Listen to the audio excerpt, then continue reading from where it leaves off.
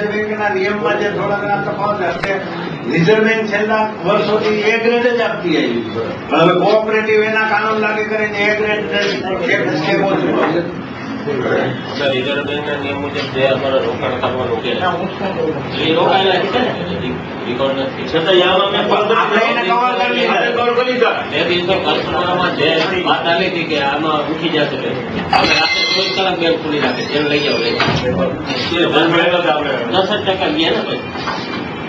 આજે શું છે કે એક કરોડ ઓગણત્રીસનું ઘણા અમુક વાન એ હોય હિત શત્રુ હોય ગમે રીતે રજૂઆત કરવાની. તો બેંકના હિતને કોઈ શેર બજારની કોઈ નુકસાન થાય? નહીં નથી થાપણ બેંક રસ નહીં જાય. છેલ્લા જે વર્ષોમાં આપણે કાયદો ઠોકર તો લાગે ને ઘણી વાર આપણે અને આ તો બેંકિંગ હું તો ચાલી વર્ષ બેંકમાં નોકરી કરી છે અને વેપારી આપણે વિશ્વાસ વગર બેંક હાલે નહીં ક્યાંય.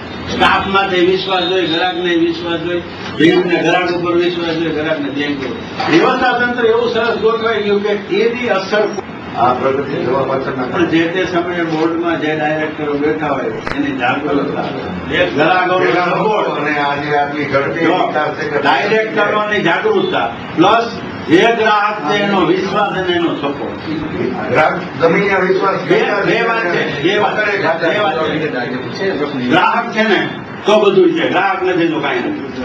ડાયરેક્ટર છે એ શું છે? ગ્રાહકના પ્રતિનિધિ તરીકે વોચડોગની ભૂમિકા છે કે ગ્રાહકનું કે ઠાકોરનું શેર હોલ્ડરનું હિત જોખમાય નહીં એ જોવાનું ફરજ છે. જે અન્યોન્ય વિશ્વાસ રાખે કામકાજનો જે યથાવત રહ્યું એના કારણે બેંકની જે પ્રોવિઝન થાય તો પ્રોફિટમાંથી થવાના છે.